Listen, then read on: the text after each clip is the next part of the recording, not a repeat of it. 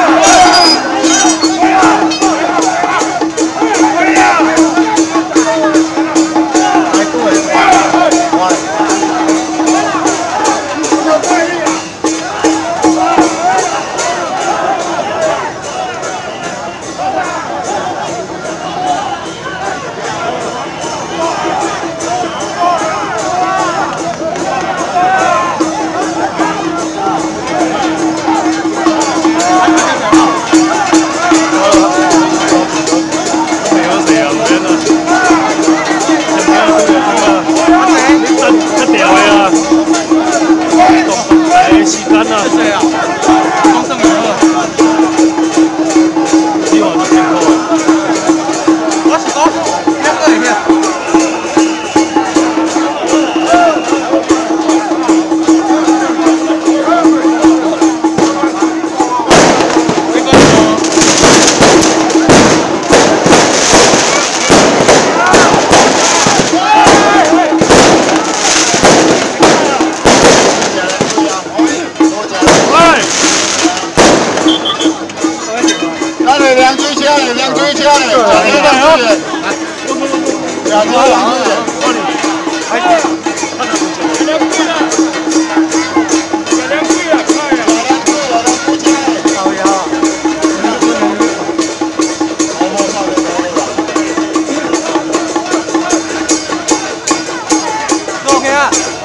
thường này là hết đi làm